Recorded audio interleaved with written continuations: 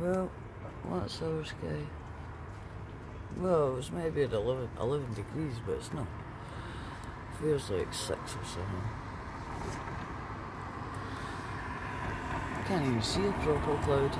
It's all covered with that hairy stuff. Or just cloud. Vapour. Are you looking forward to the eclipse, dear?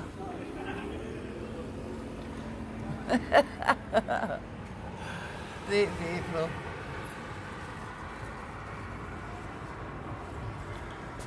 Sun's up there. Somewhere. Hiding.